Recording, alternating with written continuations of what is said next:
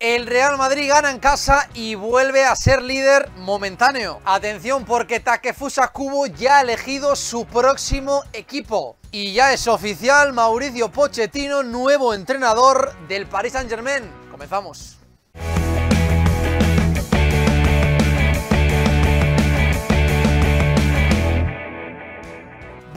Buenas tardes y buenas noches amigos de Post United, ¿qué tal? ¿Cómo estáis? Espero que muy bien, bienvenidos a un nuevo Post News. Victoria cómoda del Real Madrid en casa por 2 a 0 ante el Celta en un partido cómodo, plácido, como decimos, del conjunto de Zinedine Zidane con un punto de inflexión muy claro en el partido y es que en el minuto 50 de encuentro Iago Aspas se tuvo que retirar por unas molestias del campo. A partir de ahí el Real Madrid fue muy superior, aunque antes ya iba ganando el conjunto blanco después de que Lucas Vázquez hiciera el 1 a 0 tras un gran centro de Marco Asensio y fue solamente dos minutos después de que precisamente Yago Aspas abandonara el terreno de juego cuando Marco Asensio haría el 2 a 0 definitivo. El Balear con un gol y una asistencia fue prácticamente el mejor de su equipo. Un Asensio, por cierto, que fue sustituido a falta de 15 minutos por Eden Hazard, que otra vez no fue titular, pero Zidane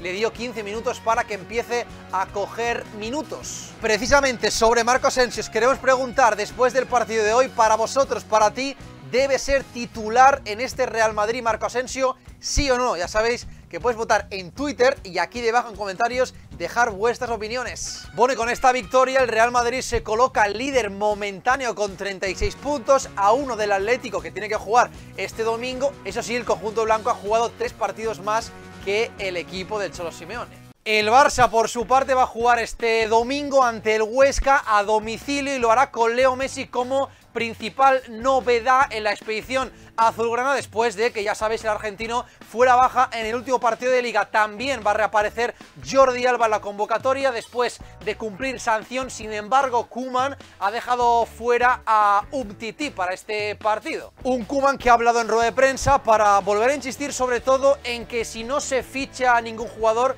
va a ser por culpa del dinero. Además, el holandés asumió que no es ningún problema que Messi decida su futuro a final de temporada y recomendó a los que juegan menos que acepten ofertas. Por otro lado, y aún en el Barça, Felipe Coutinho ha sido operado satisfactoriamente de su rotura de su menisco en su pierna izquierda y finalmente, según el Barça, va a estar tres meses de baja. Y por último, Joan Laporta en esta ocasión en una entrevista exclusiva para el diario Marca ha vuelto a hablar y atención, porque ha dicho si un marciano baja a la Tierra ve a la primera que el bar es del Madrid. Bueno, y además del Real Madrid, este sábado se disputaba el derby sevillano entre el Real Betis y el Sevilla. Finalmente, tablas en el gran derby 1 a 1 en un partido bastante igualado, aunque el Betis tuvo la victoria en sus manos. Y es que la primera parte acabó 0-0, nada más empezar la segunda parte marcaba su uso para el Sevilla y cinco minutos después un penalti un poco dudoso de Diego Carlos sobre Loren. Lo convertía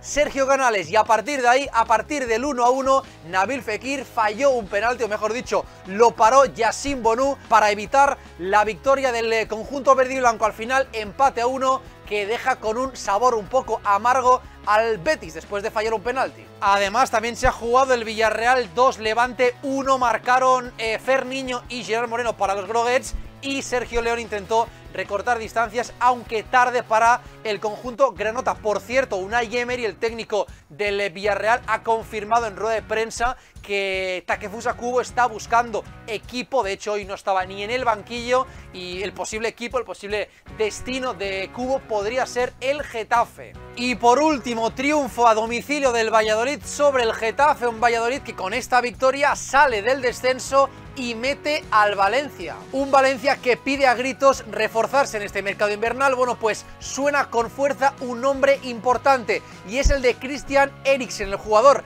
danés del Inter de Milán que no cuenta eh, con minutos, con eh, Conte. Atención porque según la gacheta de lo Sport, el Valencia estaría interesado en su cesión. El problema, el salario del danés que es en torno a 7,5 millones de euros, algo que pondría en problemas esa operación. Os contamos más cosas desde España, atención, porque el Alavés Atlético de Madrid, que se debe jugar este domingo a las 4 y cuarto de la tarde, horario española, está en peligro después de la gran nevada que cayó en la ciudad de Vitoria. Y así, como estáis viendo, estaba hace pocas horas eh, Mendizorroza, el, campo del Alavés, lleno de nieve. Ahora hay que esperar a que los operarios consigan retirar eh, toda la nieve antes de la hora del partido, así que vamos a ver si se acaba jugando o no.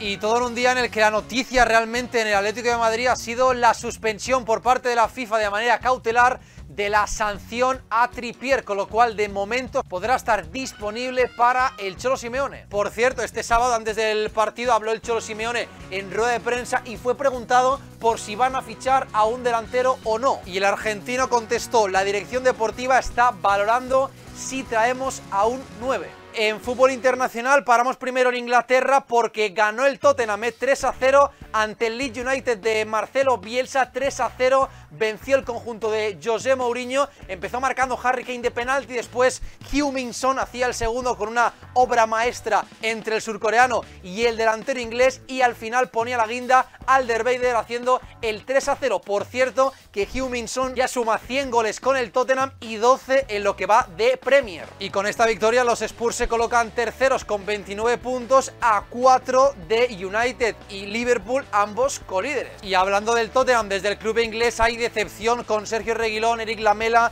y Giovanni Lo Celso por saltarse las normas del país para frenar la pandemia. ¿eh? Los tres futbolistas fueron fotografiados en una fiesta privada durante el eh, periodo navideño. Tercera victoria consecutiva del Arsenal de Mikel Arteta que parece que está revirtiendo la situación, mala situación de este principio de temporada. Un Arsenal que goleó al West Brom por 0 a 4 con doblete de Alexandre Lacazette. Un Arsenal que se coloca con esta victoria un décimo en la Premier a 23 puntos, que son muchos, del descenso. Más partidos de este sábado en Premier League, el Brighton 3, Wolverhampton 3, partido de locos, de alto voltaje, en el que el Wolverhampton iba ganando 1-3 y al final se dejó empatar por el Brighton 3-3, resultado final. Y por último, el Crystal Palace 2, Sheffield United 0, un Sheffield United, por cierto, que no ha ganado ningún partido y que lleva tan solo dos puntos. Y cerramos Inglaterra con otro partido aplazado en la Premier, en este caso era el Barley Fulham, que se debía jugar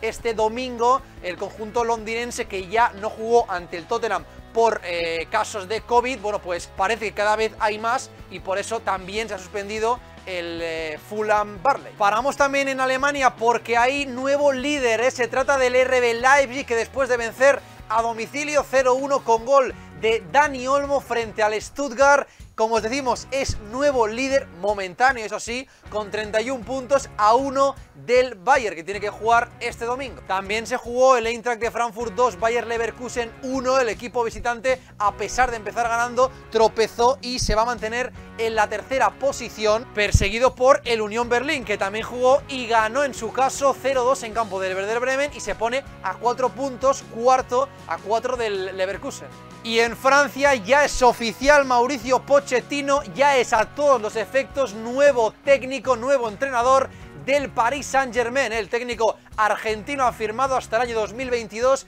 más otro año opcional. Desde Post United le mandamos mucha suerte en su nueva aventura en París. Vamos cerrando el Post News con la goleada del Alsat de Xavi Hernández por 5 a 0 ante el colista y hace que el conjunto del ex azulgrana sea el líder destacado además en un partido en el que todos los goles llegaron en los últimos 20 minutos. Y otro líder destacado es el Rangers de Steven Gerrard en Escocia que ganó el Old Firm ante el Celtic y ya le saca 19 puntos a su eterno rival. Bueno, no nos queríamos despedir de este Post News sin recordaros que tenemos abierto el sorteo en nuestro Instagram, ya sabéis, la camiseta de Roger Martí del Levante firmada, así que en arroba postutd en nuestro Instagram podéis ir para allí y participar. Para ganar esta camiseta gratis tenéis para participar hasta el lunes. Y ahora sí nos despedimos familia, espero que os haya gustado el post news, si es así como siempre, darle muchísimos, muchísimos likes, no olvidéis suscribiros al canal, nos vemos en un siguiente vídeo, chao, adiós.